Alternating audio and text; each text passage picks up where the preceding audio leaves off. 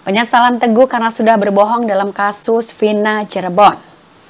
Pemirsa Teguh salah satu saksi yang diperiksa oleh polisi di tahun 2016 silam untuk kasus Vina Cirebon menangis menyesali pernyataannya ketika itu.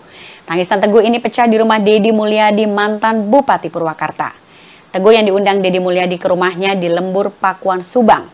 Dedi mengundang Teguh ke rumahnya untuk mendalami kasus pembunuhan Vina Dewi Arsita atau Vina Cirebon yang terjadi tepatnya di tanggal 27 Agustus 2016 silam.